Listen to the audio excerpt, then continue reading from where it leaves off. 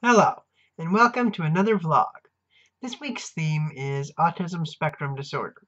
I'm going to be releasing a video on Thursday in which I talk more about autism, what it is, what the characteristics of autism are, and what supports are available for people with autism. But today I want to talk about a number of other autism-related topics. So I want to start off today's episode with a quote from a man named Stephen M. Shore. He's a professor of special education at Adelphi University, and he is on the spectrum himself. Um, so, according to Stephen Shore, if you've met one person with autism, you've met one person with autism. So, I really like this quote because it really sums up what autism is. Um, it's not as simple as everyone having a disorder that prevent, presents itself in exactly the same way. It's on a spectrum. Um, I personally think about the autism spectrum as like a prism. When you take a prism and you hold it up to a light source, the beam of light splits up into all the colors of the rainbow. So on the one end of the spectrum you have purple light, and then on the other end you have red light, and in between is infinite color possibilities. Well, the autism spectrum is the same way. You have your two extremes, and then in between, there are an infinite number of ways in which the disorder can present itself. And more often than not, people with autism fall somewhere along the middle part of the spectrum in between the two extremes. Um, so, in a sense, autism is not really one disorder, but a series of disorders along a spectrum and because of that it affects everybody differently. So with that in mind, I want to talk about some lesser known traits of autism, ones that aren't so commonly talked about.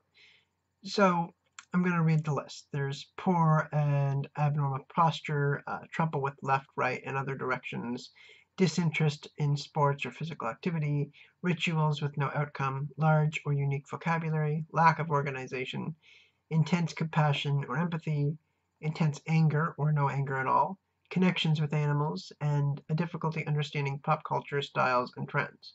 Now, not everyone with autism is going to show all of these traits, or, or maybe any of them. Um, because, like I said, autism affects everyone differently. That, that's why it's a spectrum. But these are some of the less commonly talked about traits of autism, and you may recognize some of them um, and then you may not. And what you may notice is that some of these traits are also characteristics that non-autistic people may have. There's a lot of non-autistic people who have trouble with left, right, and other directions, or who might not understand pop culture that well, um, or who aren't that into sports, right? The, the point that I'm trying to make here is that you know, there's no simple definition of what autism is because it affects everyone differently. So next what I want to talk about is something called sensory overload. So I'm sure if you've ever heard someone talking about autism, you've heard them talk about sensory overload. Basically what sensory overload is, is it's when your senses get overwhelmed and you become very agitated. Um, this is common in, in people with, with autism, where they might get, their senses might get so overwhelmed by external stimuli that they'll go into sensory overload. So a good example of this is a person with autism walking down a busy street. Um, the noises of people talking and, and the construction and, and traffic and all of the other visual and aural stimuli can potentially be overwhelming for them. And that could cause them to go into sensory overload. And people with autism react to sensory overload in different ways. Some people with autism might react by becoming irritable or having a meltdown. Some of them might just shut down and become less responsive um, to someone when they speak to them or, or whatnot, right? Uh, because again, autism affects everyone differently. Um, and it's not just visual and aural stimuli that can cause sensory overload. It, it's any stimuli, any, any of the senses can be overwhelmed. Um, but there are a number of ways to help people with autism avoid sensory overload. Um, I have a list here of strategies from um, an author named Judy Endow, and she's also a clinician for people with autism. And again, she herself has autism. Um, and it's just a list of ways that you can, that non-autistic people can support people with autism to help them avoid sensory overload. So the first item on the list is to proactively address sensory regulation. Um, and then to plan and schedule ahead of time. So it's good to have a detailed list of what your plans for that day are and, and when you're planning on doing them. Um, she also suggests to stop talking because when people with autism go into sensory overload, um, a lot of times they have trouble processing verbal input. Um, so if you talk to them, they might not respond. That could just add more overwhelming, it could just become more overwhelming. So instead, what you can do is you can use alternate communication. This is especially important for people with autism who are highly verbal. So it's good to have those nonverbal means of communication so that you can communicate with someone with autism while they're having, uh, if they're in sensory overload. Uh, it's also important to use positive reinforcement and to plan and practice exit strategies. And finally, it's helpful to assure social understanding. So by this, what they mean is to help people with autism practice proper social behavior. Um, some people with autism struggle to understand proper social etiquette, uh, but teaching them the proper behavior can make overwhelming situations like that a little bit easier for them.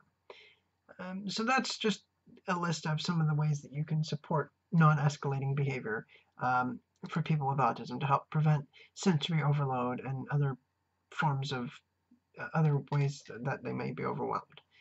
Um, so the last thing I want to leave you with is a couple of articles.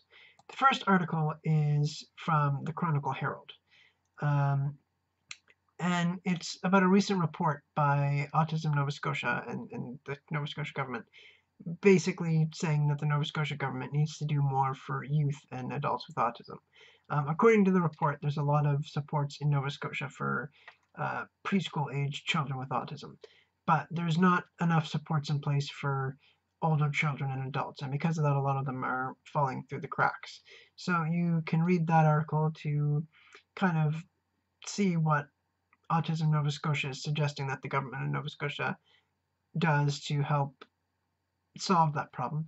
And the other article is from Huffington Post. Um, it's talking about virtual classrooms for people with autism. Now, this technology was originally designed for people with cancer and other serious illnesses who are unable to attend classes physically because of their illness, um, which allowed them to essentially telecommute in. Well, now they're using it for people with autism so that they can telecommute to class. And manage their surroundings in such a way that they avoid sensory overload. Um, kind of like we talked about earlier.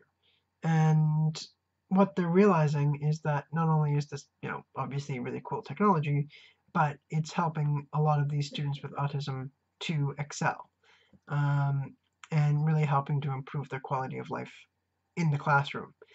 Um, so I'll include a link to both those articles in the description. I encourage you to check them out. Um, I've really just given you a very brief synopsis about what these articles are about, so I encourage you to read them. They're very informative and very interesting. Um, anyway, that's all for today, so thanks for watching, and I hope to see you on Thursday.